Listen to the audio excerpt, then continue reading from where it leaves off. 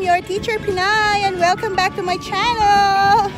And now I'll show you what's in Texas guys. See? That's the windmill. Okay. A little trivia guys. Texas provides the highest or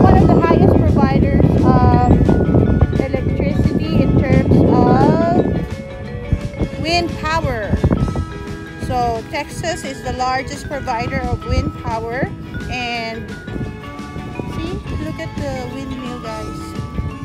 That's the windmill. See?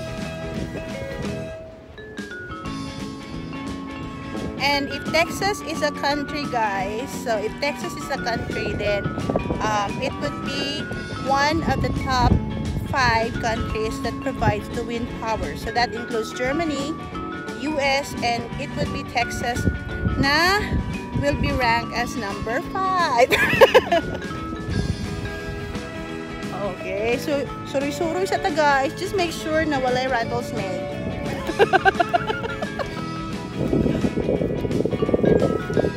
oh, diba? Tanawa ninyo.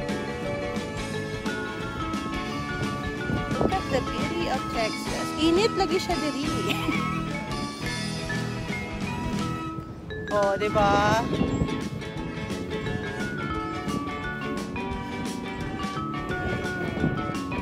Pretty kaayo.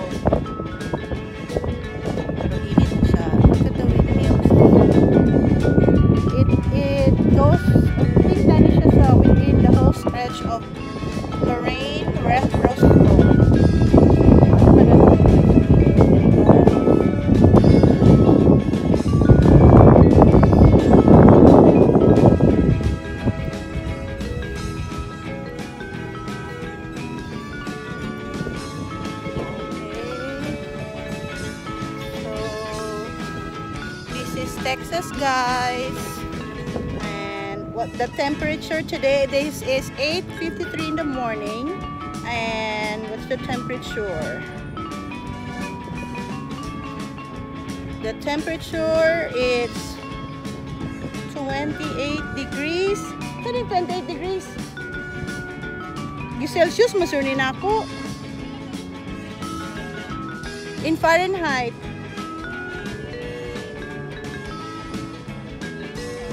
Eighty-four. So far, 28. But this afternoon, it will be around 109 Fahrenheit. Ano na siya kainit later, guys. So, see?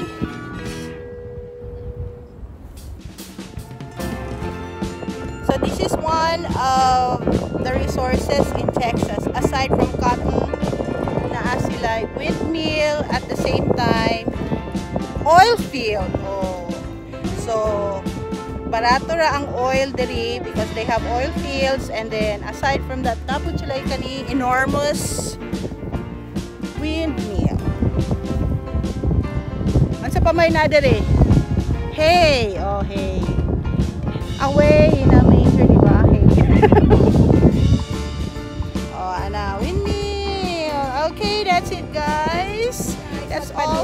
windmill. Ano ni siya, guys? Ano, duol ta, ha?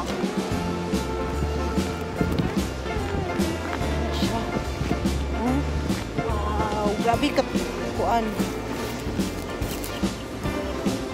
Oh, ani ang kada ko ang isa ka windmill, guys, oh. High voltage, my gosh. Oh. Oh, imagine, ana siya, guys, kada ko. Then, to arang windmill. There. Oh. Dako guys siya, guys. Huge.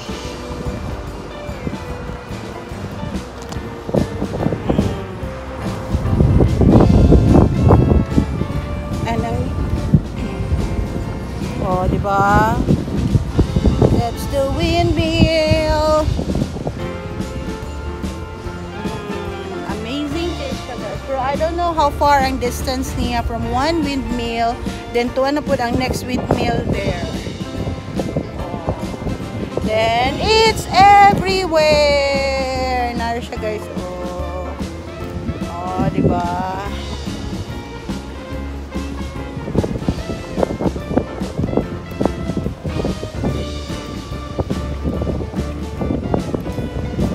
Windmill in Texas! Init na siya guys.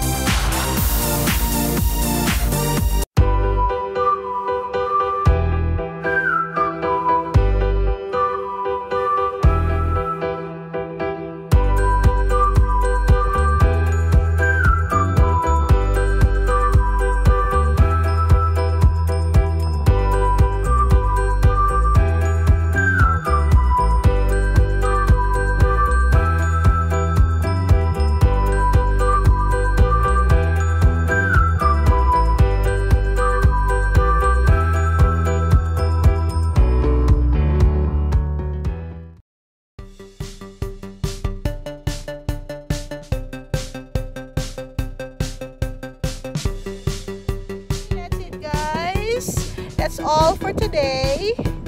And I'll see you in my next vlog. Don't forget to subscribe and click the notification bell. This is your teacher Pinay.